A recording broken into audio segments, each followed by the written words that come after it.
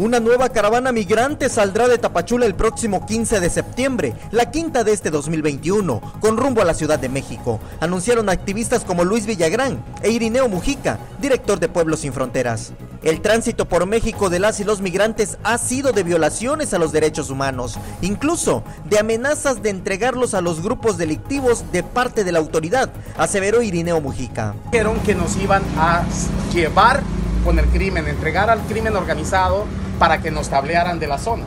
Obviamente yo le dije, si quieren entregarnos está bien, pero yo como ven, soy mexicano, no soy migrante y soy de aquí. Si ustedes me entregan al narco y me tablean, o sea, o me hace algo el crimen organizado, obviamente no se va a quedar así. Si quieren entrego. Y se fueron con los migrantes. Le sacaron aproximadamente mil pesos para dejarlos ir porque los amenazaban con entregarlos al crimen organizado.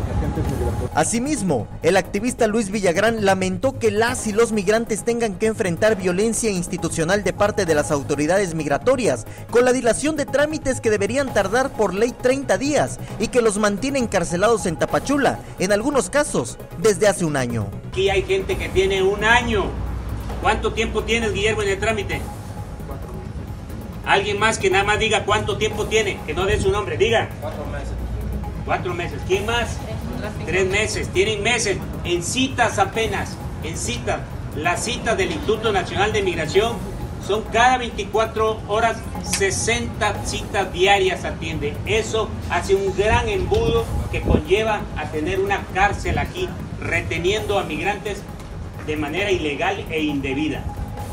Samuel Revueltas, Alerta Chiapas.